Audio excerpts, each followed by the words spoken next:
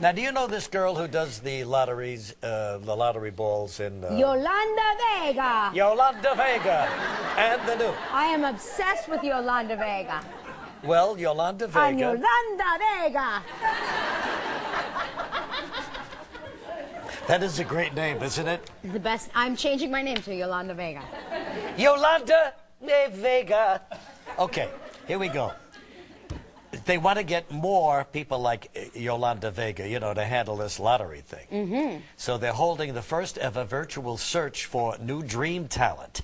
My God, this has turned into a monster. This, uh, it, she's on just once a night, right? Yes. Or is she on throughout the night? No, but why? I I Different just days. I just want to see Yolanda Vega. Vega!